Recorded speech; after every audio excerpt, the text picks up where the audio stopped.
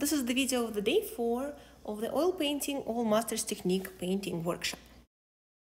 My name is Maria Zhelnina and I'm painting a portrait of my friend Marina Ebelman. So for today's class I just got myself a regular palette with white and cadmiums on one side, earthy colors on the other and a little bit of blue. For a thinner, again I will be using a mix of linseed oil and Gamsol each time a little bit less Gamsol, more oil, and you can start adding varnish to it. It's recommended to refresh the painting surface before you start painting with the thinner you just made, uh, just so it's evenly glossy and colors are evenly vivid. I'm now mixing a skin tone of hers, she's pretty fair-skinned. And just like on day 3, for the light side of the face I'm using mostly cadmiums. Uh, sometimes if the skin tone is pretty brownish, you can't avoid using brown.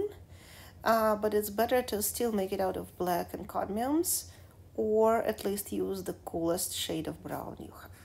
And as always, I apply my paint in transparent layers, so the previous layers of values and color temperature uh, are still seen through it.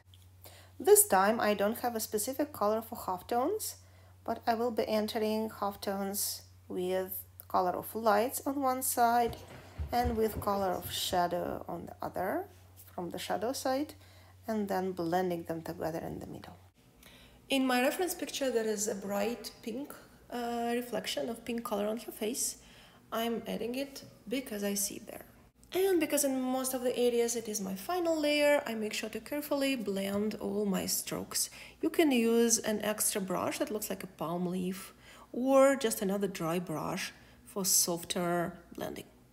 The lips are more pink than the rest of the skin, so you can use the skin tone and add a little bit of pink to it.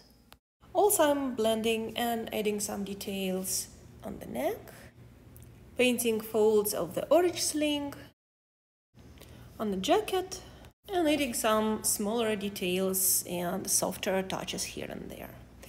And this is the end of day four. Uh, I am getting ready to the final uh, layer of glazes that will happen on day five. Good luck with your work today.